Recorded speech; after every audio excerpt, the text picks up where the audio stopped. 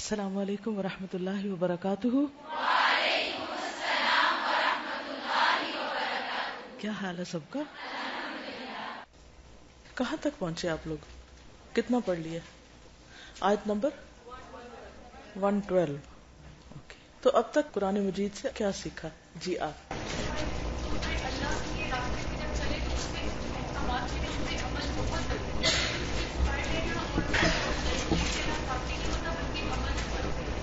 Good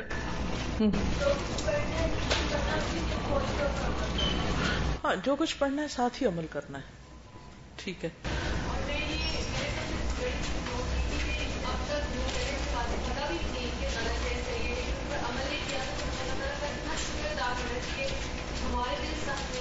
الحمد للہ کیونکہ بنی اسرائیل کے دل سخت ہو گئے تھے۔ تو اگر دل سخت ہو جائے تو کوئی چیز اندر نہیں جاتی۔ تو الحمد للہ اگر عمل کو دل چاہ رہا ہے یا مزید پڑھنے کو دل چاہ رہا ہے تو اس کا مطلب ہے کہ ابھی دلوں کے اندر نرمی ہے۔ جی۔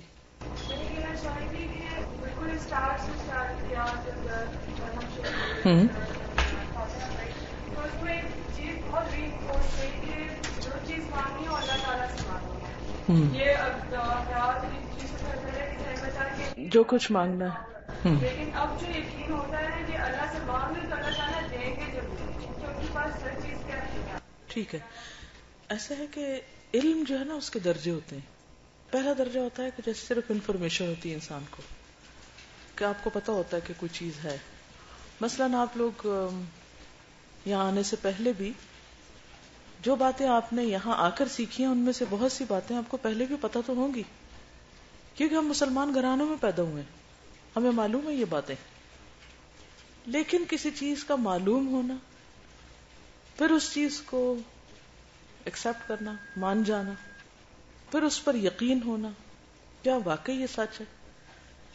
کیونکہ جب ہمیں کوئی بات پتہ چلتی ہے تو ہم فوراً پوچھتے is it true is it true تو اذان سن کے جواب دے کے پھر دعا کریں گے۔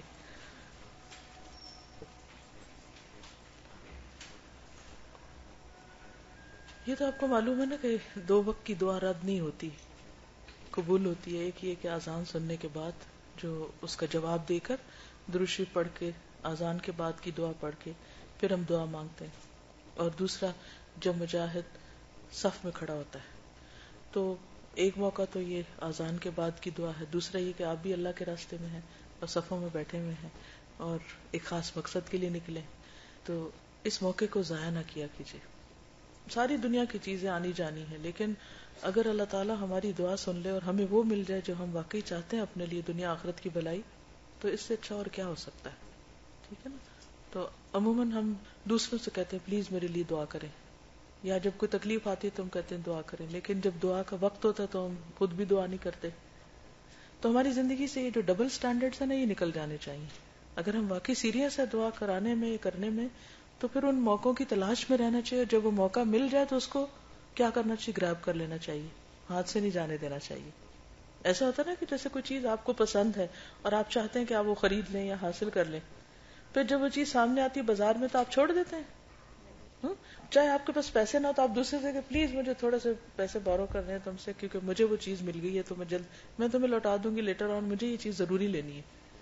چاہے ادھار بھی لے کے لینی پڑے گا، ہم لے لیتے ہیں، کیونکہ پھر ہم کہتے کیا پتا پھر ملے یا نہ ملے۔ تو میں یہ چانس مس نہیں کرنا چاہتی۔ تو دعاؤں کی قبولیت کے چانسز کو مس نہ کریں۔ تو ہم بات کر رہے تھے علم کے درجوں کی۔ پہلا درجہ ہوتا ہے صرف کسی بھی چیز کی انفارمیشن پہچان، معرفت، جاننا، معلوم ہونا۔ یہ عموماً سن کر ہوتا ہے۔ بچہ پیدا ہوتا ہے، ماں باپ سے بہت سی باتیں سنتا ہے اور اپنے ماحول میں بہت سی چیزیں دیکھتا ہے تو اس کو بہت سی چیزوں کی معلومات ہو جاتی۔ لیکن ان میں سے کچھ چیزیں ایسی ہوتی ہیں جن پر وہ یقین کرتا ہے، کچھ پہ نہیں بھی کرتا۔ ماں باپ بتاتے ہیں کہ دیکھو، اگر تم نے نماز نہ پڑھی تو کیا ہوگا؟ بتاتے ہیں؟ کیا بتاتے ہیں؟ مجھے بھی بتائیے آپ۔ آپ کی امی ابو نے کیا بتایا؟ دو زخم جاؤ۔ کیا بچے اس بات کو یقین کرتے کہ اگر کرتے تو کبھی نماز نہ چھوڑتے؟ بس اسے معلومات کی حد تک لے لیتے ہیں۔ تو ہم میں سے بہت سے لوگوں کا علم بس معلومات کی حد تک ہوتا ہے۔ ہم نے سنی سنائی باتیں ہوتی ہیں، لیکن ہمارا اس پہ یقین نہیں ہوتا۔ اگلا درجہ وہ ہوتا ہے کہ جس میں ہمیں یقین آ جاتا ہے۔ اب معلومات تو آپ کسی کتاب کو پڑھ کے بھی حاصل کر لیتے ہیں، لیکن علم یقینی کے لیے کچھ اور شرائط بھی ہیں۔ کہ جب انسان کو پوری طرح کانفیڈینس ہو جائے اس چیز پر ٹرسٹ بلڈ ہو جائے کہ ہاں یہ جو بات کہے گی یہ بالکل سچی بات ہے۔ اور پھر انسان اس چیز کو چھوڑتا نہیں۔ یہاں آ کر ایک خاص ماحول میں اپنی آنکھوں کے سامنے قرآن رکھ کر جو چیز آپ پڑھتے اور سنتے ہیں، اس کا فائدہ کیا ہوتا ہے کہ آپ کو علم یقینی حاصل ہوتا ہے؟ مثلا آپ کسی لیکچر میں جاتے ہیں۔ کوئی اسکالر آیا، کہیں سے کوئی انٹرنیٹ سے سنا، کہیں۔ آپ نے بہت سی باتیں سن لی وہ آپ صرف ایک معلومات کی حد تک لیتے ہیں۔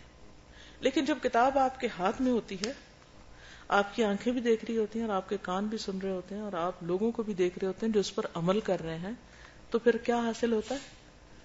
علم یقینی حاصل ہوتا ہے۔ اور خاص طور پر ان لوگوں سے پڑھ سن کر جو اس پہ عمل کر رہے ہیں۔ پھر یقین کا درجہ حاصل ہوتا ہے۔ کیوں؟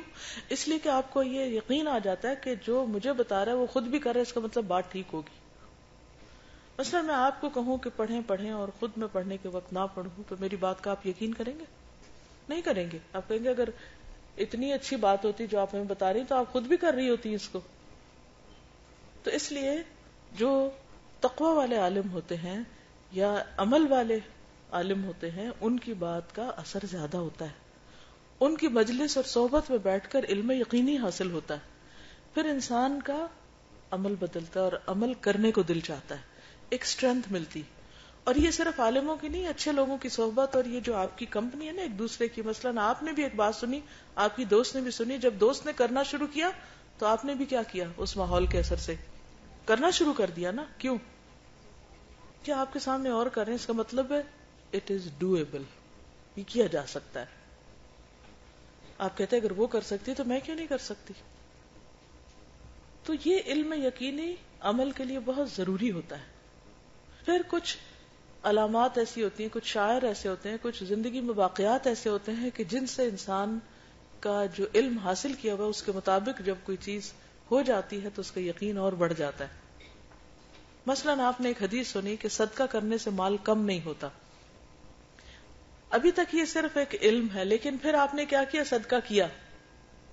اور اس کے بعد آپ کو اتنا یا اس سے زیادہ واپس مل گیا۔ تو آپ کو یقین بڑھے گا نا؟ کہ او یہ تو میں نے پڑھا تھا۔ اور واقعی ایسا ہوتا ہے۔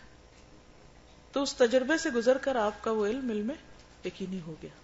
اسی لیے بہت سے سائنسز جب بہت سے علوم جب ہم پڑھتے ہیں، تو اس میں ہم صرف تھیری نہیں پڑھتے، اس کے ساتھ اس کے پریکٹیکل بھی کرتے ہیں۔ جب وہ پریکٹیکل مثلا اگر آپ کو ٹیچر یہ بتاتی جائے کہ ایچ ٹو او سے کس کا فارمولا ہے؟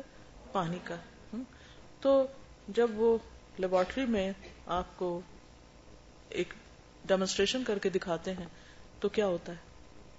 علم یقینی حاصل ہو جاتا ہے نا۔ پہلے آپ نے سنا تھا، اب آپ نے دیکھ بھی لیا۔ اسی لیے تیسرا درجہ جو ہوتا ہے، وہ پھر حق ال یقین کا ہوتا ہے۔ ٹھیک ہے؟ علم الیقین، عین الیقین اور حق الیقین۔ علم الیقین میں یعنی سنی سنائی باتیں، پر عین الیقین میں دیکھی ہوئی اور حق الیقین میں جب آپ اس کے اوپر واقعی عمل کر کے آپ پوری طرح دل ٹک جاتا ہے، یہ وہ مرحلہ اور یہ وہ درجہ ہوتا ہے کہ جس میں انسان پھر قربانی کے لیول پہ آ جاتا ہے۔ پھر کسی بھی قیمت پر اس کو چھوڑنا نہیں چاہتا، کیونکہ اس میں اس کو مزہ آنے لگتا ہے۔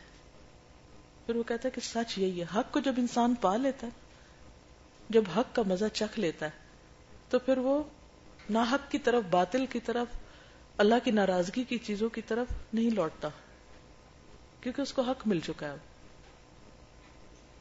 تو جو جو انسان اس رستے پہ آگے بڑھتا ہے، اس کا علم بڑھتا چلا جاتا ہے۔ آزان سے پہلے ہم ایک بات کر رہے تھے، عام طور پر جب ہم بچوں کو کوئی چیز بتاتے ہیں نا کہ اگر آپ ایسا کریں گے تو اس کا یہ فائدہ ہوگا، اتنا ثواب آپ کو ملے گا، تو فوراً کہتے ہیں از اٹ ٹرو واقعی ایسا ہو سکتا ہے۔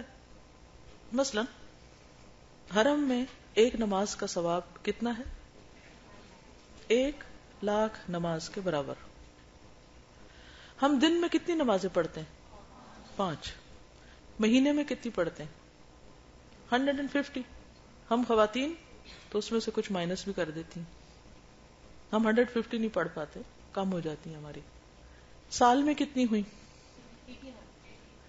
تقریباً اٹھارہ سو پچیس نمازیں ہوتی۔ ٹھیک ہے؟ ایک لاکھ کب بنے گی؟ اب یہ کیلکولیشن کر کے بتائیے۔ ہنڈریڈ تھاؤزینڈ نمازیں کتنے سال میں ہوں گی؟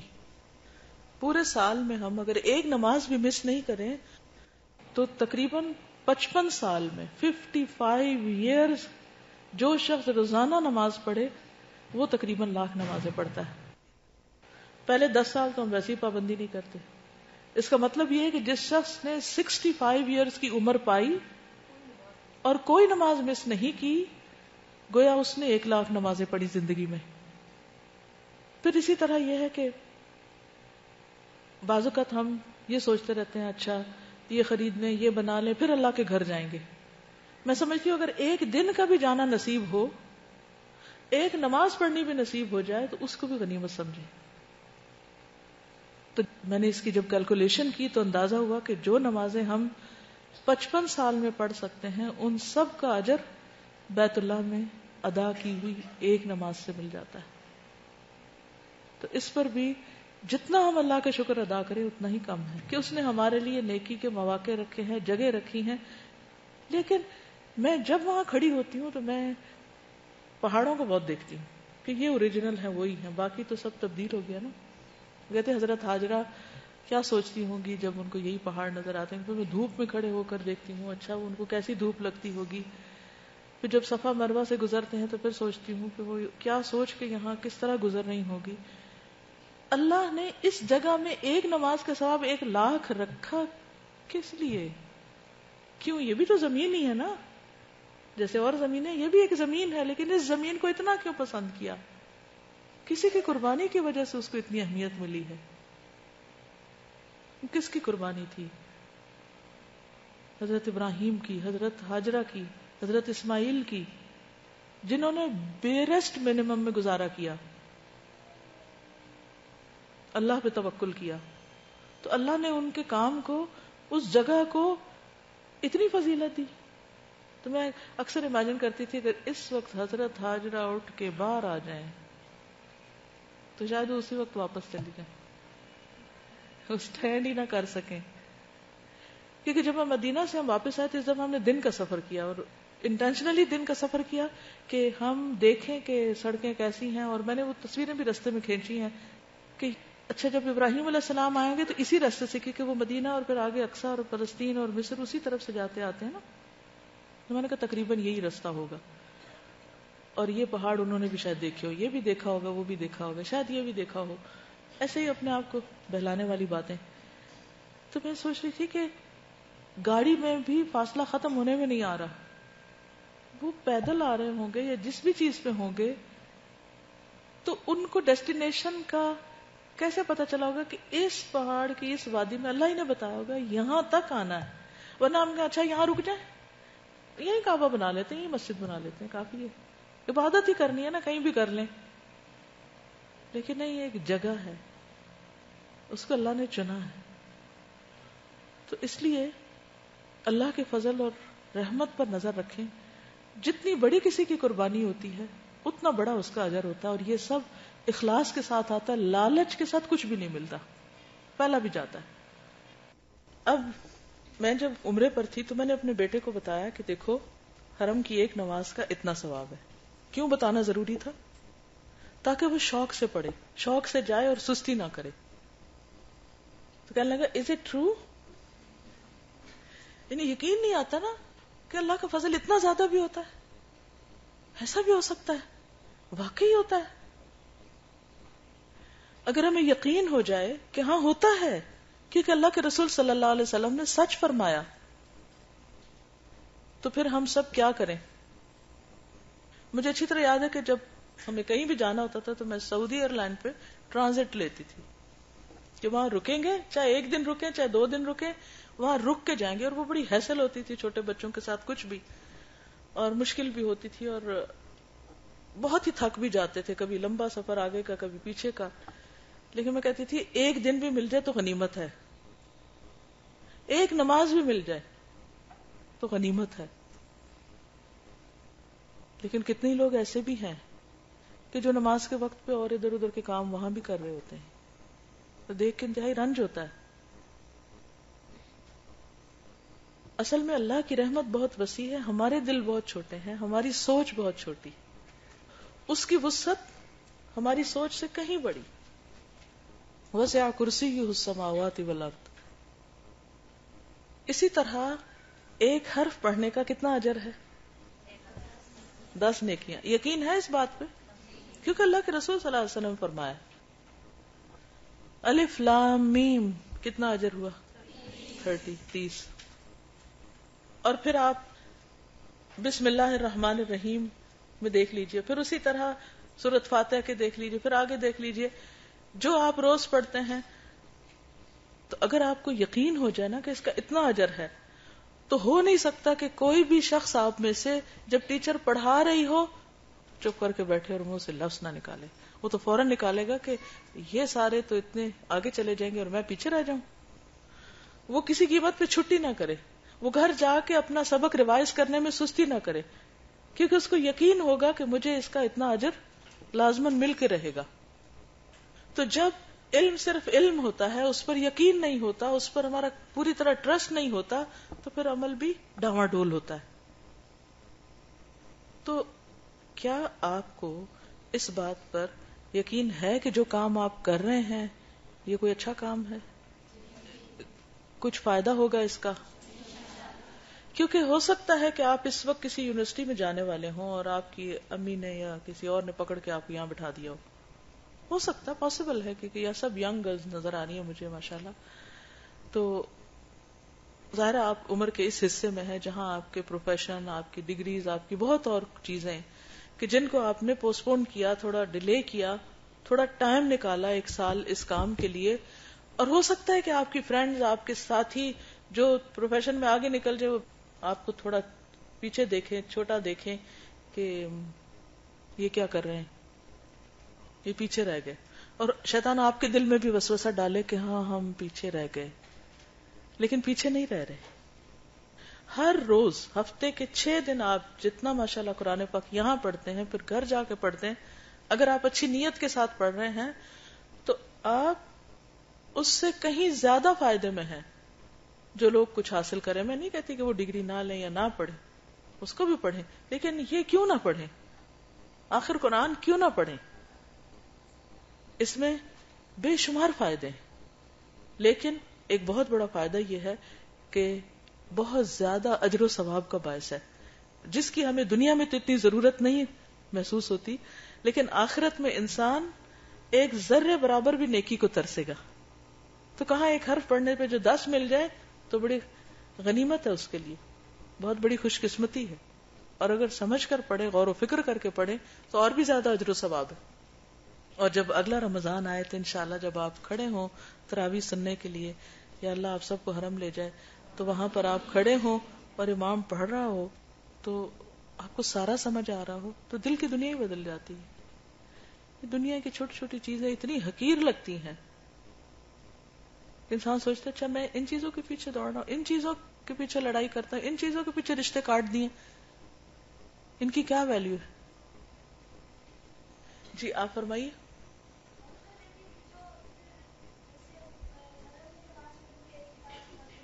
وہ ثواب ہے۔ اس کا یہ مطلب نہیں کہ اس سے ایک لاکھ نمازیں ادا ہو جاتی وہ اس کا ریوارڈ ہے۔ اتنی سال اگر کوئی محنت کرے۔ اور پھر خاص طور پہ آخری اشرے میں للت القدر آتی ہے۔ تو للت القدر کیا ہے؟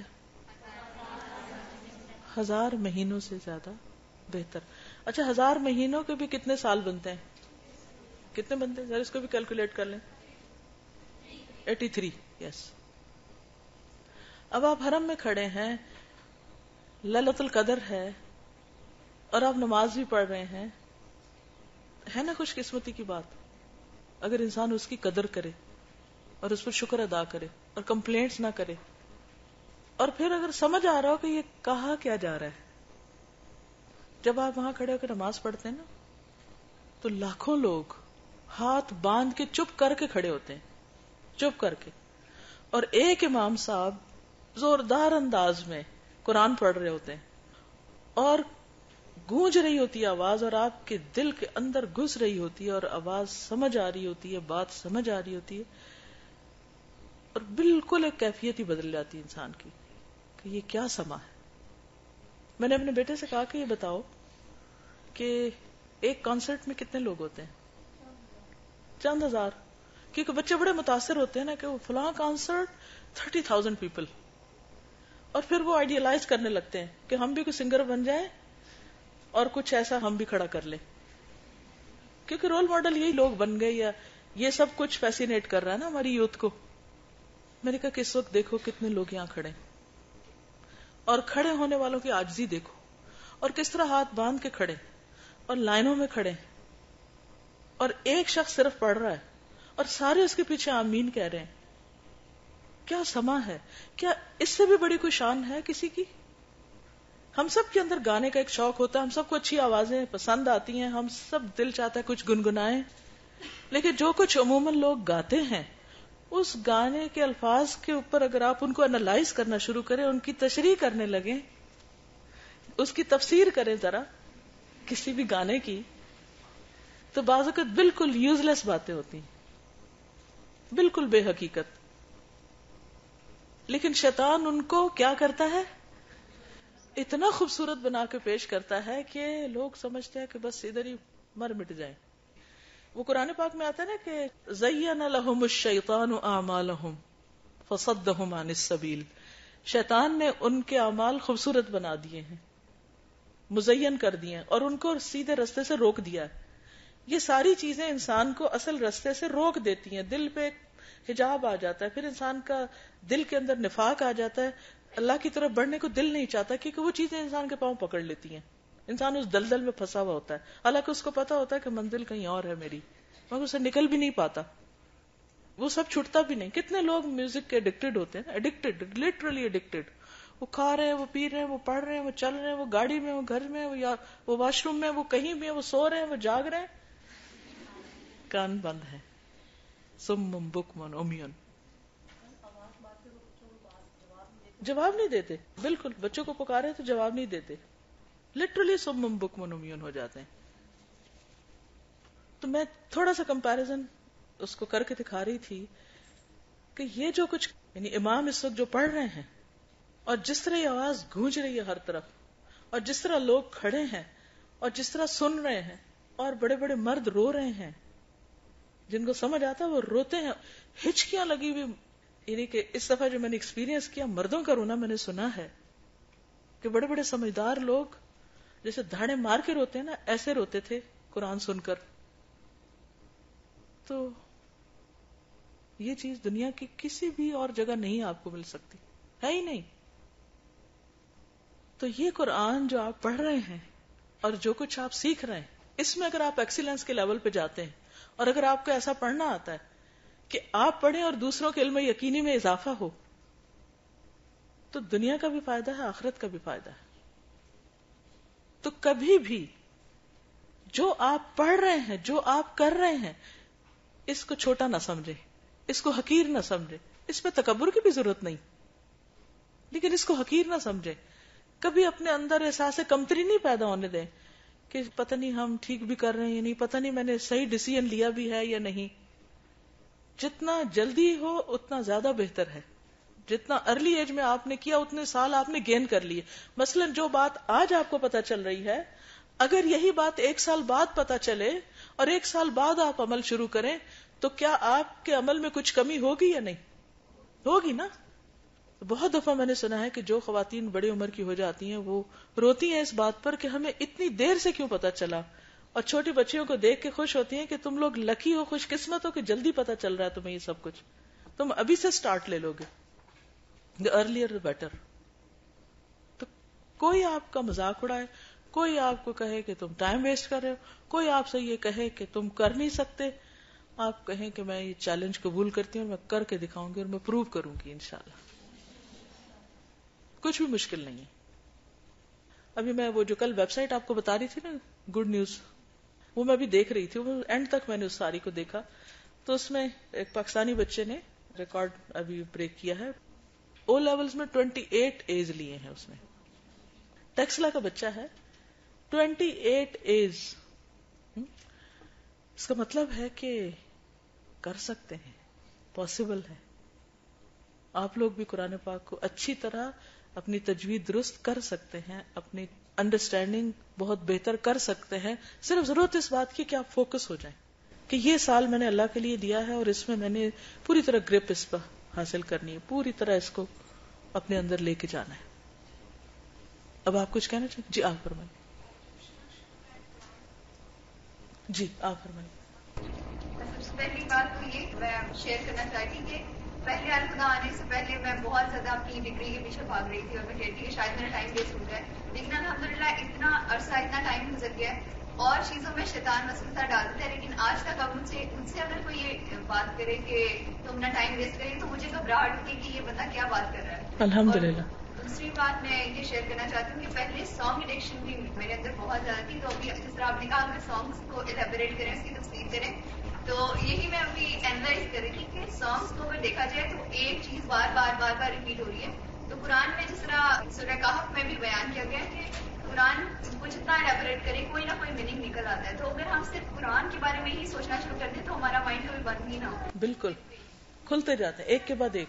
اور ہر رمضان میں آپ دیکھیں گے اور ہر دفعہ نیا سنیں گے تو آپ کہیں گے او قرآن تو مجھے اب سمجھ میں آیا ہے۔ دنیا کی ہر چیز پرانی ہو جاتی یہ کلام نہیں جی۔ وعلیکم السلام۔ میں نے جب یہ قرآن پاک ویسے میں تمہیں بھی ترجمہ پڑھتے پڑھتے تھی لیکن جس طرح سے میں نے یہاں پہ آگے قرآن پاک کو انڈرسٹینڈ کیا ویسے بلیو تو ہوتا ہے بندہ مسلم کے لیے اللہ کی کتاب۔ لیکن جس طرح سے یہاں میں نے پڑھنا شروع کیا اور مجھے سمجھ آنا شروع تو مجھے صحیح طرح سے لگا کہ قرآن پاک کس طرح سے اللہ کی کتاب ہے۔ کہ پہلے مجھے اس بات میں ہوتا تھا کہ آیات ایسے کیوں ہیں آگے پیچھے کیوں ہیں سمجھ نہیں آتی تھی۔ ترجمہ پڑھنے کے بعد۔ لیکن اب الحمد للہ کہ قرآن پاک اس دلیل کے ساتھ کہ یہ واقعی اللہ کی کتاب ہے اور دوسرے لوگوں کی جو قومیں تھی جو جیسے بنی اسرائیل ان کو دیکھ کے پھر خود کو کہ ہم لوگ کیا کیا غلطیاں کر رہے ہیں ویسی غلطیاں چھوٹی چھوٹی غلطیاں۔ وہ تو ایک آئینہ دکھایا نا اللہ نے ہمیں۔ ہاں، وہ سمجھنے کی الحمد موقع ملا۔ وہ سمجھ آ رہی ہے۔ الحمد للہ جی وعلیکم السلام۔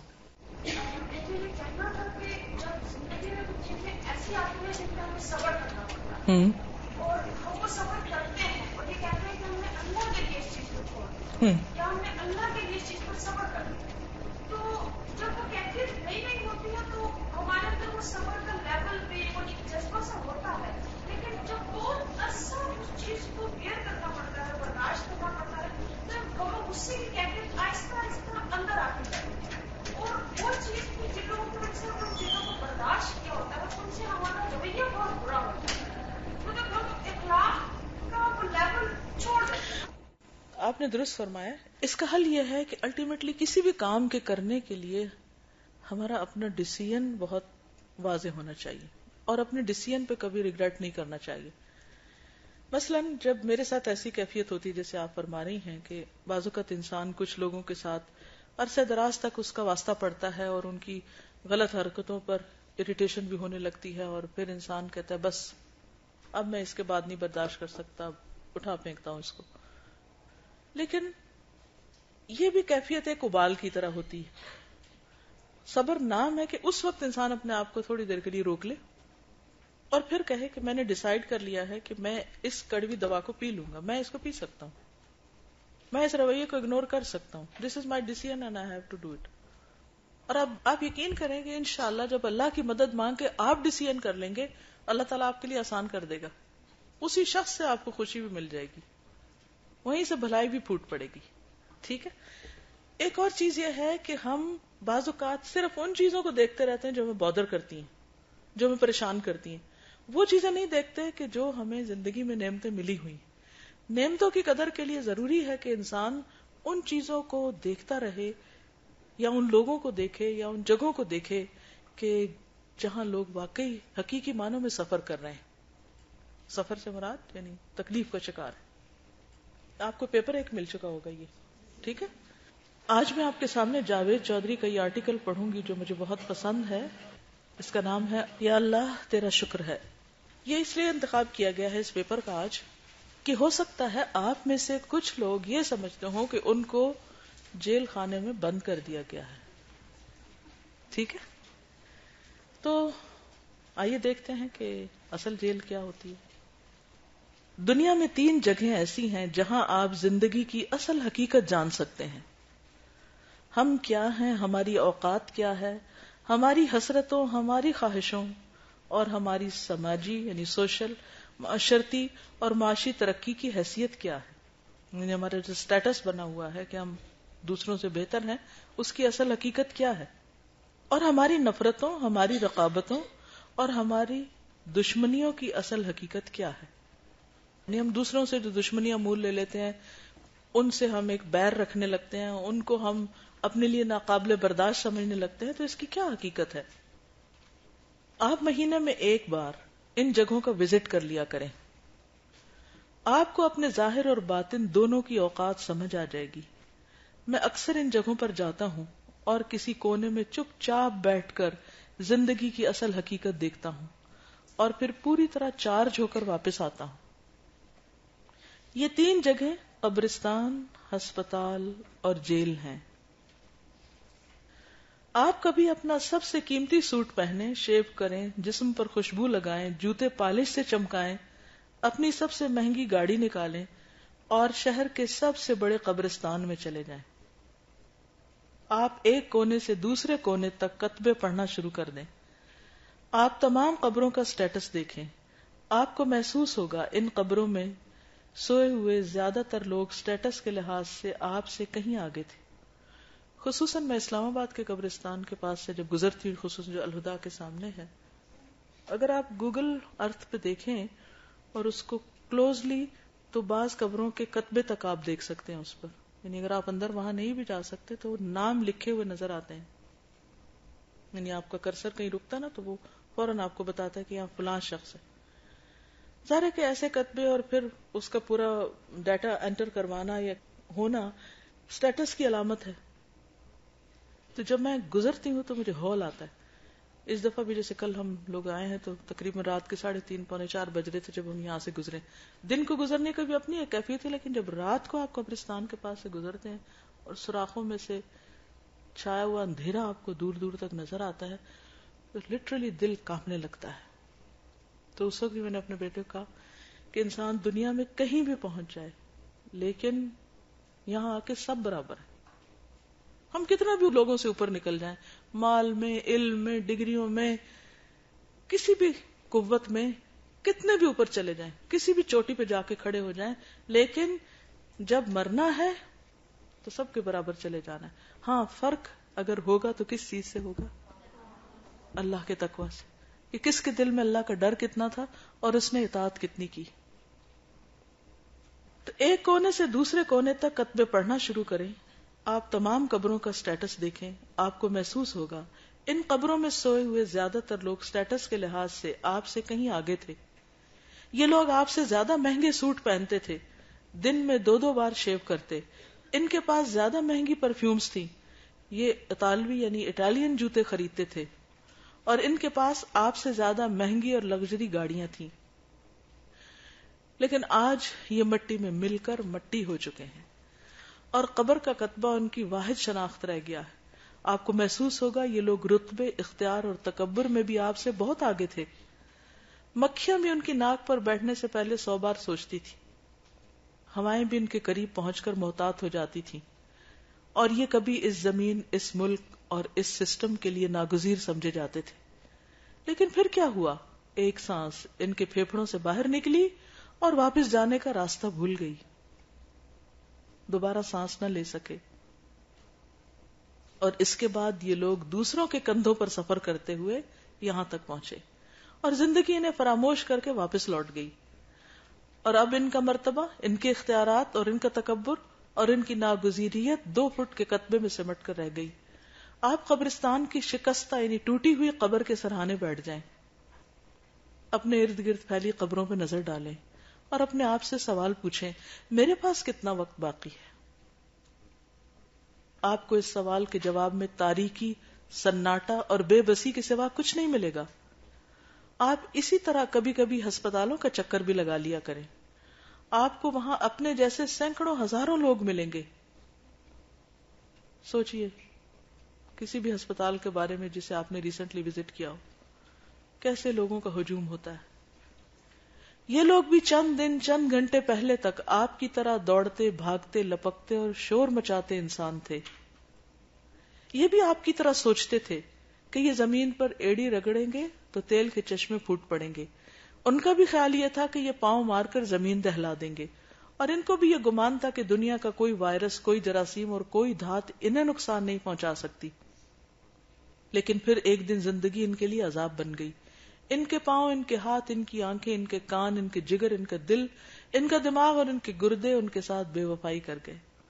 عام طور پہ لوگ کہتے ہیں نا کہ ان کا کڈنیز فیل ہو گئی دل بند ہو گیا ہے۔ دماغ میں اسٹروک ہو گیا ہے۔ لیور نے کام کرنا چھوڑ دیا ہے۔ اور یہ اپنے ٹھنڈے گرم محلوں سے نکل کر ہسپتال کے بدبودار کوریڈورس کے مسافر بن گئے۔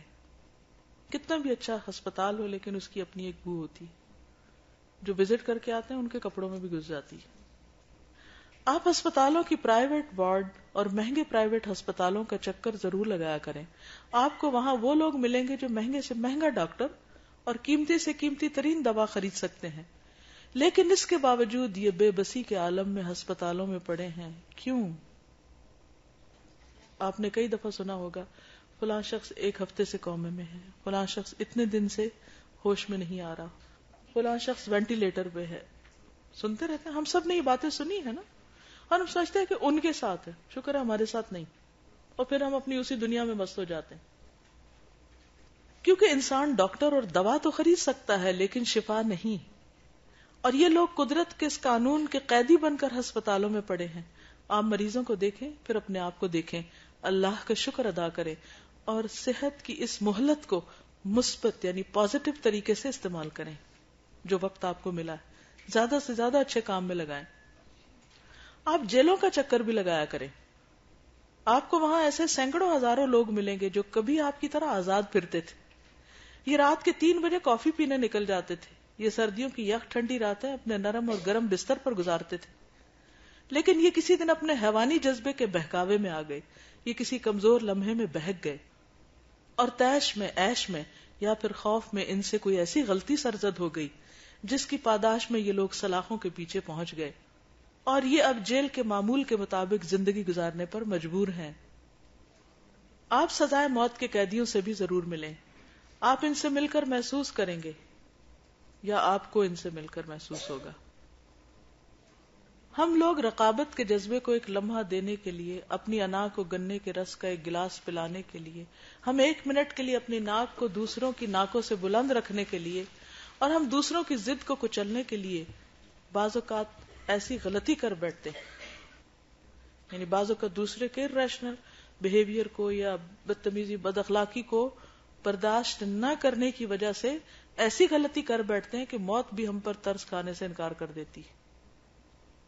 یعنی انسان اپنے ہی ہاتھوں کے کیے ایسی مصیبت پہ پھنس جاتا ہے کہ اسے نکلنا مشکل ہو جاتا ہے۔ اور ہم جیل کی سلاخیں پکڑ کر اور اللہ سے معافی مانگ مانگ کر دن کو رات اور رات کو دن میں ڈھلتا ہوا دیکھتے ہیں، لیکن ہماری سزا پوری نہیں ہوتی۔ آپ جیل کے قیدیوں کو سلاخوں کے پیچھے کھڑے ہو کر اپنی بیویوں کو حسرتوں سے دیکھتے ہوئے دیکھیے۔ جب وہ ملاقات کے لیے آتے ہیں نا فیملیز اور پھر جا رہی ہوتی ہیں۔ آپ ان کی کانپتی ہوئی ان انگلیوں کو دیکھیے جو اپنے بچوں کے لمس کو ترس گئی آپ ان کے بے قرار پاؤں دیکھیے جنہیں آزادی کا احساس چکھے ہوئے کئی برس بیت گئے۔ آپ ان کی آنکھوں میں تیرتے ہوئے ان رت جگہوں کی فصلیں بھی دیکھیے جو انہوں نے اپنی غلطی، اپنی کوتاہی اور اپنے جرم پر معافی مانگ مانگ کر اگائی لیکن قدرت یہ فصل کاٹنے پہ راضی نہیں ہو رہی۔ آپ ان لوگوں کو دیکھیے، اپنے اوپر نگاہ ڈالیے اور پھر یہ سوچیے آپ پر بھی دن میں ایسے سینکڑوں ہزاروں کمزور لمحے آتے ہیں۔ آپ بھی لالچ کے بہکاوے میں آتے ہیں۔ آپ بھی غرور اور تکبر کے ماؤنٹ ایوریسٹ پہ چڑھ جاتے ہیں۔ آپ بھی رقابت کے نرغے میں آ کر دوسرے لوگوں کی زندگیوں کو کھیل بنا لیتے ہیں۔ آپ بھی غیرت کے سیلاب میں الجھ کر دوسروں کا خون پینے کا فیصلہ کرتے ہیں۔ آپ بھی دوسروں کے مال کو اپنا بنانے کے منصوبے بناتے ہیں۔ لیکن کوئی نادیدہ ہاتھ، کسی دوست کی کوئی نصیحت اور حالات کی کوئی مہربانی آپ کو روک لیتی ہے۔ یعنی کسی کی کوئی بات یاد آ جاتی ہے یعنی کسی بھی طرح آپ اپنے آپ کو اس غلط کام سے پیچھے کر لیتے ہیں، یا اللہ کا خوف اصل میں تو آپ کو روک لیتا ہے۔ آپ باز آ جاتے ہیں۔ اور یہ بھی ہوتا ہے کہ قدرت آپ پر خاص مہربانی کرتے ہوئے آپ کی خامیوں، آپ کی کوتاہیوں، آپ کی غلطیوں، آپ کے گناہوں اور آپ کے جرائم پر پردہ ڈال دیتی۔ یہ آپ کو گواہیوں، ثبوتوں، قانون اور کچہریوں سے بچائے رکھتی۔ لیکن آپ قدرت کی اس مہربانی کو اپنی چالاکی اور اپنا کمال سمجھ لیتے ہیں۔ آپ یہ سمجھ بیٹھتے ہیں کہ آپ چال سبراج ہیں جسے اللہ تعالیٰ نے قانون کی آنکھوں میں خواب جھونکنے کے لیے دنیا میں بھیجا۔ اور دنیا کا کوئی قانون ضابطہ آپ کو کبھی پکڑ نہیں سکے گا۔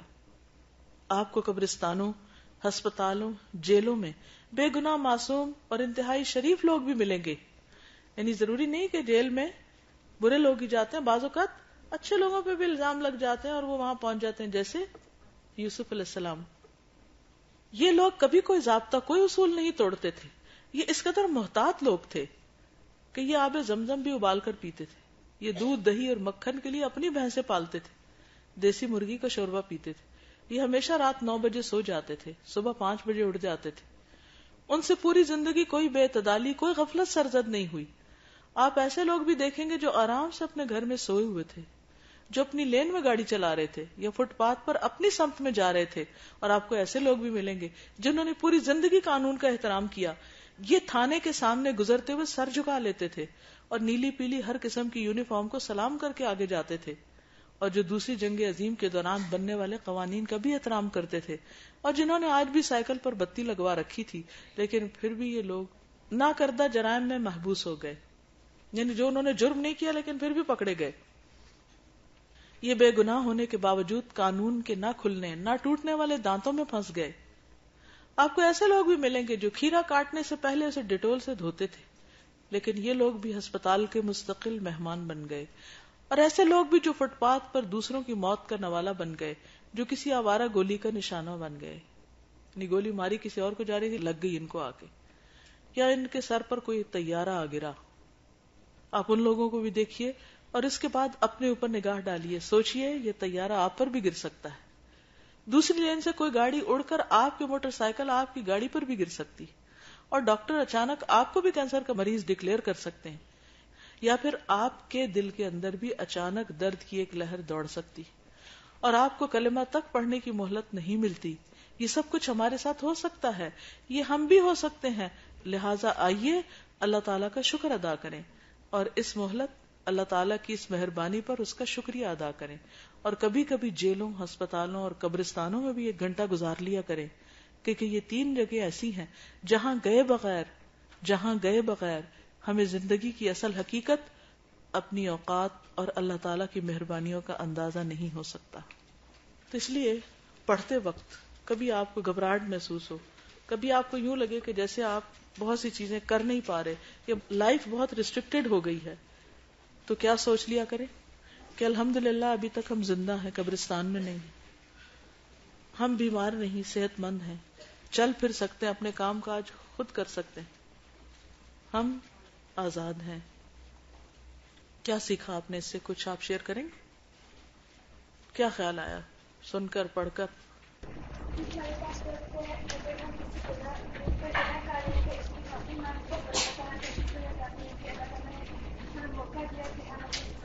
بالکل۔ اپنے اس وقت سے، اپنے آج سے، اس لمحے سے بھرپور فائدہ اٹھائیں۔ ٹھیک ہے؟ لکھ لیجیے سبق کو۔ جب کسی کا کوئی رویہ پریشان کرے، جب کسی بات سے گھبرا اٹھے، جب کوئی چیز بہت مشکل لگنے لگے، تو سوچ لیں کہ ابھی میرے پاس زندگی کی نعمت ہے، میرے پاس آزادی ہے۔ میں صحت مند ہوں۔ میں اپنے اس لمحے سے اس گھنٹے سے اس دن سے اس وقت سے خوب خوب فائدہ اٹھا لوں۔ جب آپ مثبت کام شروع کریں گے تو انشاءاللہ منفی سوچیں دور ہو جائیں گی۔ جب شکر کے جذبات پیدا ہوں گے اور ناشکری دور ہوگی تو دل کو قرار آ جائے گا۔ اللہ کے فیصلوں پہ راضی ہو جائیں گے۔ جی۔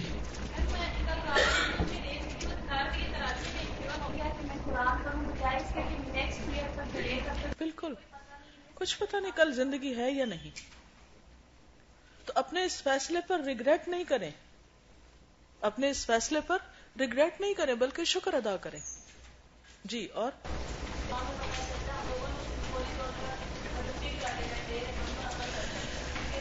بالکل، موت کا وقت مقرر ہے اور ہم زوالی کی طرف جا رہے ہیں۔ آہستہ آہستہ اسی کی طرف بڑھ رہے ہیں۔ نعمتیں ایسی جس سے اکثر لوگ غافل ہیں۔ صحت اور فراغت جی ہاں نبی صلی اللہ علیہ وسلم نے فرمایا کہ دو نعمتیں ایسے جس سے اکثر لوگ غافل صحت اور فراغت۔ خوش رہیے اور اپنے فیصلے پر شکر ادا کیجیے کہ آپ کو اللہ نے اپنی کتاب کے لیے چن لیا سبحانک اللہم و بحمدک نشہد اللہ الہ الا انت نستغفرک و نتوب الیک۔ السلام علیکم ورحمۃ اللہ وبرکاتہ۔